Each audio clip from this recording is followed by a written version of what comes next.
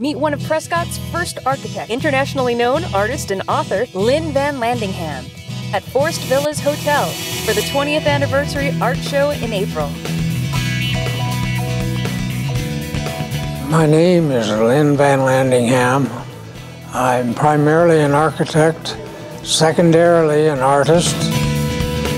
I grew up in, uh, on a ranch near Spivey, Kansas. I grew up learning to be a cowboy, roping calves and riding horses all day, every day. Thought I'd end up being a bronc rider in rodeos. I had to go to the Army. Uncle Sam needed me. The war got a little bit difficult, so they decided to send me over to Europe to help them out. They thought I did something special. I got a couple of medals. I served with Patton's army in the Bulge, Battle of the Bulge, which is was quite uh, an experience. But I got back, decided I wanted to be an architect rather than a lawyer. I'm now 90 years old. In 1953, I designed the famous Pizza Hut, the hut, the hat. So that's my claim to fame. This will be the 20th year since I designed this hotel, the Forest Villas Hotel.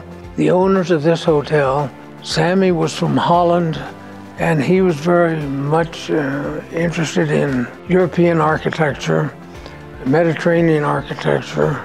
This hotel is a quaint European style with a home atmosphere, a quiet, uh, interesting place with nooks and crannies to where you can talk privately with groups and enjoy each other without clatter of dishes. The grand stairway leading from the lobby to the second floor level. But primarily, my art is my love. 20 years ago, we had an art show here. I do pencil, pen and ink, watercolor. I've tried everything. I've done oil, I've done uh, acrylic, uh, I've done a lot of etchings, but I'm not as adept in anything except watercolor. But I primarily am a landscape, seascape watercolorist. I got interested in doing um, poetry, writing poetry several years ago. I have two books of poetry published, and I remembered riding horseback through plum thickets and creeks playing tag with an old brown goat. I have my paintings, and I'll have several of my students will be displaying two or three of their pieces.